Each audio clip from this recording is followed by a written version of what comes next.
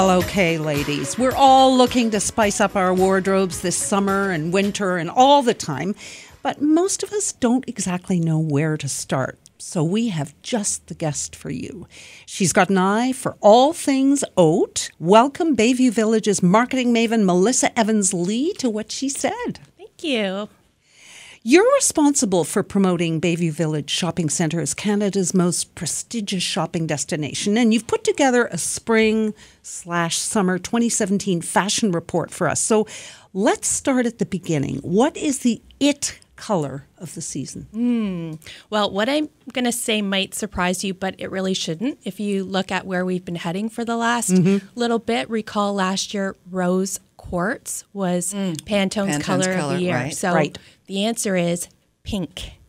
It is having a huge moment, not just in fashion, we saw it all over the major runways, but also home decor, home goods, restaurant decor, packaging. Our logo. Exactly. Our logo. yeah. Uh, is there a pink for every skin tone for every person? Absolutely. And that's why it's so popular and that's why it sells is that it's very flattering. There is mm-hmm. a pink for every skin tone, so that's the good news. And the other thing is it's it plays well in the closet. So in other words, gray, it, you can style it black, with everything that you already white, have. Yeah. Red. Pink and red. Pink yes. and red? Yes. I like pink and orange. Pink and orange. I know. It's so you see yeah. white, denim, yeah. black, everything that you already have, green.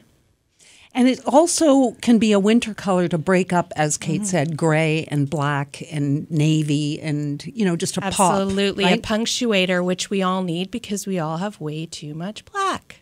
Mm, don't we? Yeah, don't, don't we? we? Exactly. Okay. Yeah, for sure. Black, gray, and navy. So and this is brown. refreshing and, and it's not going away because we are seeing it in all those different areas. As I say, whether it's decor or packaging, this has a long shelf life. This is not going to be one of those fly by night colors that's here today, gone tomorrow. You don't go and buy a pink couch and then next year you're buying a green couch. Like there is longevity in this. Mm-hmm. Mm-hmm. What about the it pattern? Are florals back? Because you have a beautiful florals are definitely back, but it's stripes. Stripes. Oh, 100%. And it's always interesting to me to look at the fashion world's uh, sort of summary of what they saw on the runway because mm-hmm. it is so subjective and it is up to interpretation, but not this year.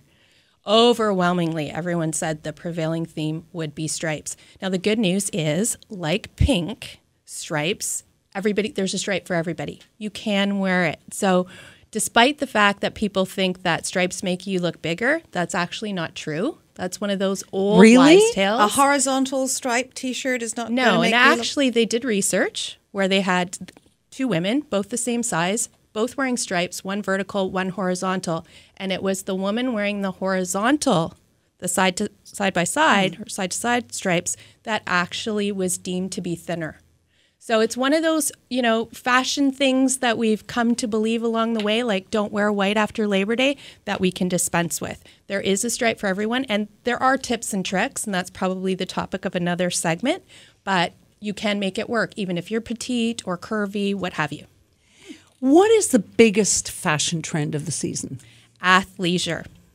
So that's this idea of wearing activewear, bringing that into your everyday life. So I'm talking about designer leggings, cashmere sweats, this loungewear, tennis, shoes, bomber jackets like what I'm wearing today. I'm not talking velour tracksuits. Um, this is more gym wear out of the Hamptons, I'll say. I, I see women look, looking great and they don't look like they've just come from the gym, as you said, but a lot of it has to do with the shoes that they're Absolutely. I part of the magic of that is mixing it with other things. So you don't want to do this look head to toe. Mm-hmm. So maybe you have the dressy track pant, and Judith and Charles has an amazing version of this. But then you pair it with heels, or like what I'm doing today, a bomber jacket, but I've got a fairly casual top. And you on. have pink shoes on. Oh, I, I always have pink shoes on. Yeah, for sure, for sure. But it, that's an interesting one because we've been talking about this for many seasons. So this is not trend anymore. It's veering into classic territory, and there's lots of reasons for that. There's this increased health consciousness. Um, there's cultural shifts in the workplace that whereby you know it's not as dressy as it once was. Like how many people do you know that wear suits every day in the workplace? Less and less. Mm-hmm. Um, people want more functionality when it comes to their wardrobe. Mm-hmm. So where we talked about desk to dinner wear previously. It's now also about gym to office wear. Mm-hmm. And people want to be comfortable. This idea of sort of suffering for fashion, Yeah. no more. People Well, aren't sort interested of in that. leggings, for example, that were definitely just gym wear, and pe- runners would wear it, and what. And now they're so fancy, and people will just wear running shoes and then stick on a pair of heels and go out for dinner, Absolutely. and nobody thinks twice. Or a dress with really nice sneakers. Yeah. A pair of Adidas shoes. Absolutely. Absolutely, yeah. So, what would you say are the top five musts for summer? You're only giving me five. I'm only giving you five, Melissa. Um, number one, mom jeans. So this is that cross between the high waisted skinny jean and maybe the boyfriend jean. So in other words, hallelujah. We're Yeah. no longer inadvertently flashing people with the low rise jean. So Thank you. Th- or the muffin top. Exactly. Thank you, so thank you. Thank you. Mendocino has a great pair of Levi's that are worth checking out. I would say number two is a pair of slides or mules, Mm-hmm. so that sandal.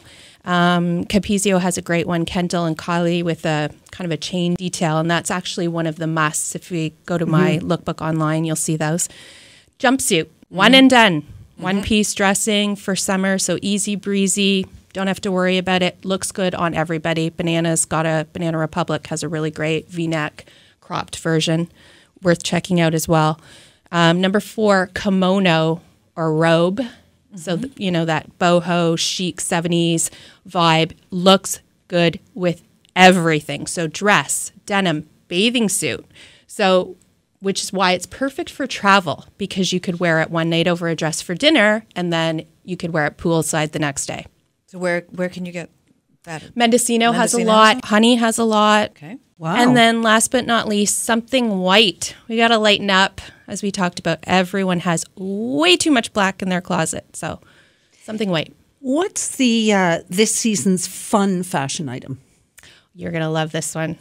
Furry sandals. My daughter bought a pair uh, just a couple of weeks ago, Yeah. and she came and said, "What do you think of those?" there was they, they reminded me of almost fifties boudoir slippers. Aren't they funny? You know what? When I first saw those, I thought, oh my God, never, not ever. uh, those are ridiculous. And so that's one of the things never say never, right? Because now, once you see it styled, yeah, they're ridiculous, they're impractical, but they're fun, and fashion should be that. So let's take your crystal ball out and have a look at what's coming up for fall. In terms of color, red will be hot, uh, burgundy, floral, print of the season, um, which is always great to see in that context, fall, winter, velvet, a lot of velvet as sort of the texture of the season, and then lots of fun fur, 70s plaid, fishnets, Fishnets. yep, and pantsuits. Thanks, Hillary. Yeah. and boots. Tell me boots. High boots. You know what? We're footwear's funny. The last couple seasons, er- anything goes, right? So you're seeing heels, you're seeing pointy, you're seeing rounded toe, you're seeing flat. So I feel like there's something for everyone in footwear, which is really exciting. Well, there, there again, I think people are don't want to wreck their feet anymore. You are, as they said, You're the right. comfort. It's like Exactly. we want to walk. We want to walk more. We want to be able to incorporate our exercise. So there's, I mean, I can't walk in heels anymore. So Right. I'm looking for nice, cute flats or just a like a kitten heel kind Well, of. Well, me too. That's And it. I've I've said this to you gals before. I came out of the womb wearing high heels, and even I'm looking for flats too. So I've already I'm already got a jump start on fall winter with a chunky sort of block heel, embroidered round toe uh, booty that I found at Capezio.